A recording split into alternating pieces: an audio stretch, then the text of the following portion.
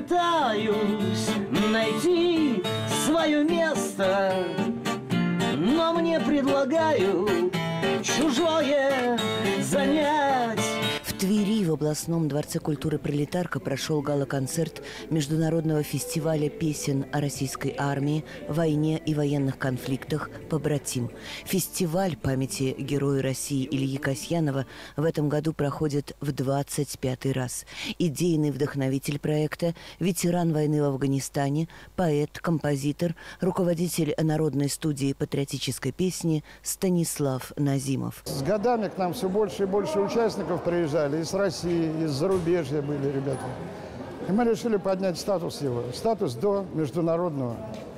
Потому что я считаю, что мы это заслужили в этом дворце за 25 лет это должно было свершиться. Непростая ситуация 2020 года продиктовала свои условия.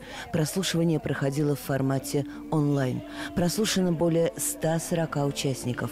Это музыканты из практически всех районов Верхневолжья, солисты и группы из Москвы и Московской области, Мурманска, Екатеринбурга, Республики Беларусь и Латвии. Среди зрителей гала-концерта люди разных возрастов, от школьников до ветеранов. Это главная песня страны, патриотическая песня. И ее любили, ее любят и будут любить. Это память, в первую очередь, память о наших,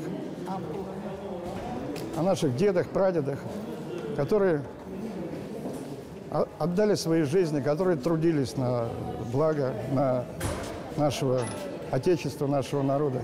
И Следующее, что молодежь не должна слушать всяко разное, это не заразно. Должна слушать нормальную патриотическую песню. Потому что это один из методов военно-патриотической работы, патриотическая песня.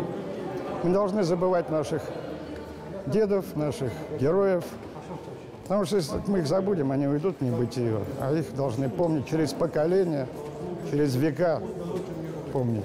В числе главных учредителей и организаторов фестиваля правительство Тверской области, региональные отделения всероссийских общественных организаций «Боевое братство», Российский союз ветеранов Афганистана, инвалиды войны в Афганистане, клуб «Красная звезда».